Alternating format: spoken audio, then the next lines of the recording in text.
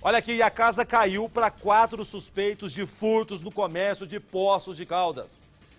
Primeiro, a polícia militar prendeu um trio que estaria furtando em padarias e supermercados na cidade. A cara das turmas, olha lá. Olha o sobrancelha raspar, a cara do odeio. Em uma das ações que foi, que inclusive foi mostrada aqui no Balanço Geral, um dos criminosos apareceu comendo e ficou conhecido como ladrão comilão. Vocês lembram? Pois é. Em outro caso, uma dentista de 60 anos foi presa após ser flagrada furtando uma farmácia. A Juliana Coleta tem todos os detalhes dessas prisões e vai mostrar pra gente. Vamos ver, balança aí. Na delegacia, dois dos criminosos confessaram o crime. Jefferson Contieri Soares, de 29 anos, e Jonathan de Oliveira Toledo, de 21, tentaram se justificar. Pratiquei esses furtos para me poder usar minha droga de consumo, que é o crack, entendeu? Eu sou usuário, tenho um bom trabalho, certo? Eu tenho uma boa profissão, só que com o uso a gente, eu, por exemplo, eu venho a, a gente fica, eu perco a cabeça, entendeu? O que eu fiz já está feito. O que, que você fez? Eu fiz. Ah, eu cometi um roubo aí, mano, pra me usar droga, só que já falei já, não vou falar mais nada não, tá suave. Já Bruno Rosália Campos, de 27 anos, preferiu ficar em silêncio. Eu vou falar nada não, senhor. Os três foram flagrados cometendo vários furtos em Poços de Caldas. Os bandidos tinham como preferência padarias e supermercados. Essa operação Breakfast foi deflagrada em razão de diversos furtos praticados no centro da cidade. Nós identificamos no mês de fevereiro que um conjunto de autores teriam praticado dois furtos seguidos a uma mesma padaria.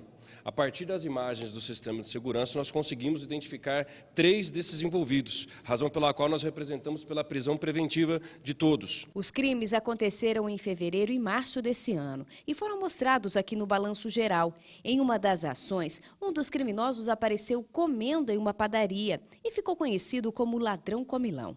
Durante as investigações, os policiais receberam informação de outros crimes que teriam sido praticados pelo trio. Eles praticavam, às vezes, em dupla e, às vezes, com outros autores. Então, esses três já estão identificados. É, alguns deles já confessaram a participação em pelo menos cinco, mas nós temos, na nossa investigação, é, aproximadamente dez furtos praticados por esses autores. Durante as investigações, os policiais receberam a informação de que um outro estabelecimento aqui da cidade também havia sido furtado várias vezes. Foi aí que veio a surpresa. Os policiais descobriram que a farmácia, que fica no centro de Poços de Caldas, não era alvo dos três bandidos, e sim de uma mulher. A dentista de 60 anos aparece nas imagens do circuito interno de segurança do estabelecimento, colocando os produtos na bolsa. Repare no canto superior da tela. Ela caminha pelo corredor tranquilamente, se aproxima de uma prateleira e pega um produto. Rapidamente ela se afasta e logo coloca o cosmético na bolsa. Os funcionários nos ligaram informando que ela estaria dentro da loja praticando mais um furto. Imediatamente a equipe se deslocou até a farmácia, porém ela já teria saído do local, devolvido os objetos em razão do acionamento do alarme e praticado um outro furto na loja de cosméticos ao lado da farmácia.